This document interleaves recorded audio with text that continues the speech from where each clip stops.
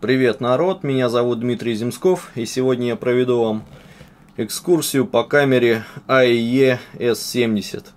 И тут благо есть на что посмотреть, у камеры вот много всяких разных кнопочек, что, впрочем, делает управление ей даже проще, потому что очень хорошо, что некоторые функции могут быть просто вот так взяты, включены и выключены с помощью переключателей на передней панели.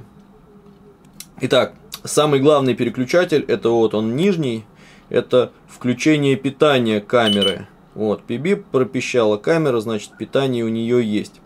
Точно так же электропитание камеры можно включать и выключать программно, когда она находится в боксе, простым удержанием двух верхних клавиш. Вот таким вот образом пибип, камера отключилась. Но все-таки очень хорошо иметь физический выключатель и не переживать за свою батарейку. Также хорошо иметь физический включатель и выключатель модуля Wi-Fi. Об этом пользователи камер GoPro хорошо знают. Здесь можно быть спокойным, здесь Wi-Fi можно просто выключить и быть уверенным, что он не сожрет вашу батарейку внезапно. Также здесь есть переключатель режима замеров экспозиции. С общего на центральный замер. Центральный замер экспозиции нужен, если вы решили поснимать себя любимого на контрастном фоне, чтобы не было пересвета. Также у камеры AE есть такая фича, G-сенсор называется. Когда он включен, камера сама начинает и останавливает запись видео, когда чувствует движение. Причем делает это весьма разумно, не оставляя длинных хвостов и не откусывая ничего лишнего. В общем, хорошая альтернатива всяким пультам. Ну, давайте теперь посмотрим внутреннее меню камеры. Что оно из себя представляет? Да, у камеры есть вот такой вот цифровой зум. Вот, штука весьма спорной полезности. Впрочем, несколько раз в моей жизни встречались ситуации, когда с GoPro мне приходилось слазить внутрь, переключать угол. Здесь это можно делать просто вот клавишами сверху. Чтобы попасть в меню камеры, нужно нажать кнопочку M на торце. Тут мы можем настраивать всякие плюшки – сигнал, но это громкость встроенной в камеру пищалки, индикатор, но это так же как у GoPro, здесь есть всякие лампочки на торцах, чтобы было видно, что камера записывает, их можно включать или выключать вместе и по отдельности. Title это включение и выключение информации на экране, там о заряде батареи, о месте на карточке, о времени съемки.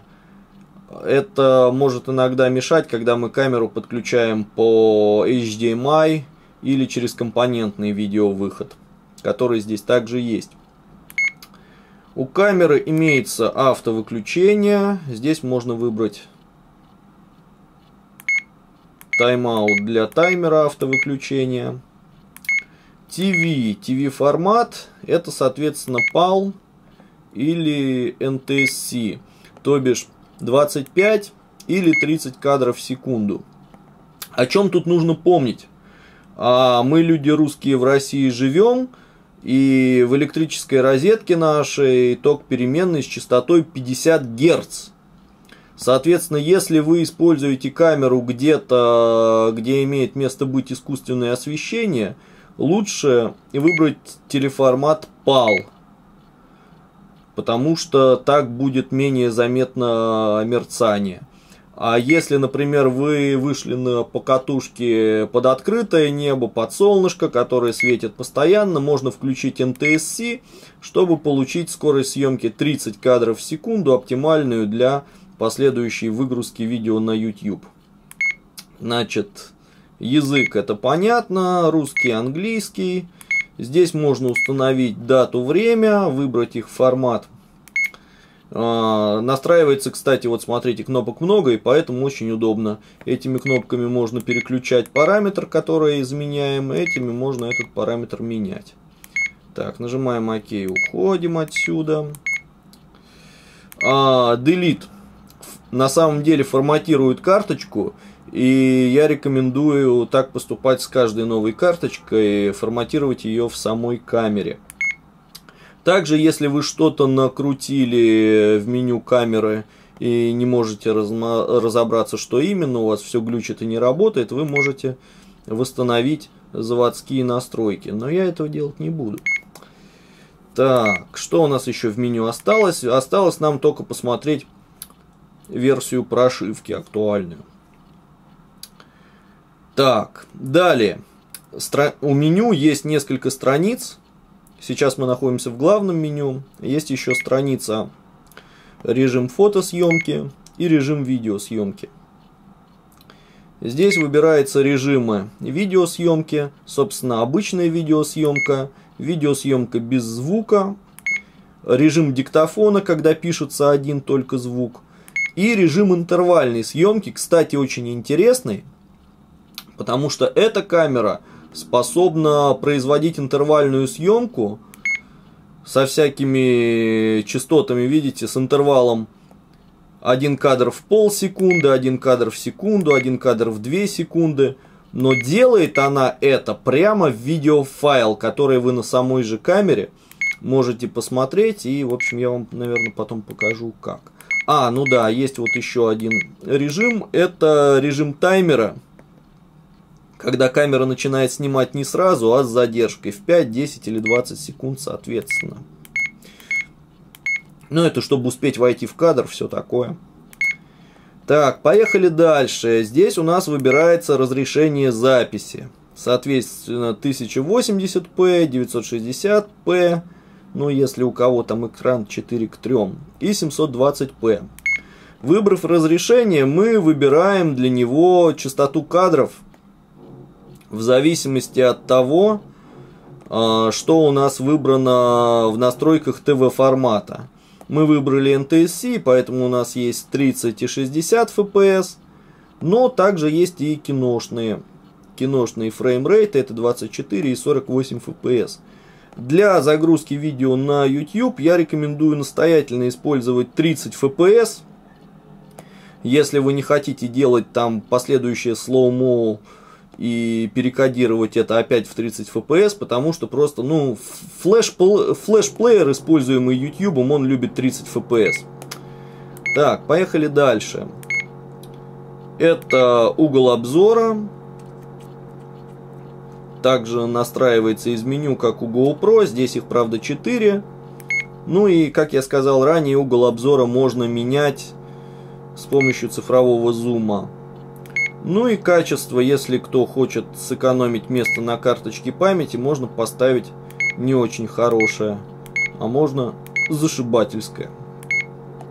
Также у камеры есть режим циклической записи, это как у авторегистратора. А, и опять же, как у авторегистратора, можно разрешить впечатывать в кадр время. А, есть режим поворот на 180 градусов. Это камера сама сама определяет, как она ориентирована в пространстве. Если она перевернута, то снимаемая картинка тоже перевернется, чтобы не делать вам этого в видеоредакторе. Однако, если вы совершаете всякие прыжки, завалы, кульбиты, а, ну, может быть, не стоит включать эту штуку. Так, что у нас дальше на повестке дня? А, режим фотосъемки. Их не так много.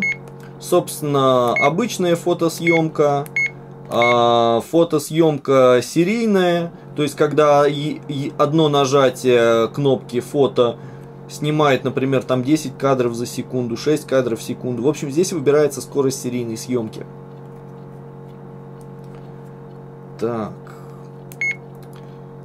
И таймер. Таймер, таймер, как на старом добром фотоаппарате Зенит, можно сделать, чтобы камера сработало через какое-то время, чтобы сфотографировать себя любимого. Ну вот и все, собственно говоря. Что еще хочется сказать, что в камере у нас есть проигрыватель, он вызывается вот этой вот кнопкой. Здесь можно просматривать фотографии, видеоролики, снятые камерой. удобно их выбирать. И сейчас я вот вам покажу пример интервальной съемки. Поехали. Вот такая получается интервальная съемка. Прям на камере можно ее посмотреть. И, в общем, многим, не только там простым людям, но и профессионалам, как ни странно, этот режим пришелся кстати. Вот, потому что уже готовое видео, и не нужно это собирать из отдельных фотографий в видеоредакторе. Ну вот и все, ребят. Такие дела.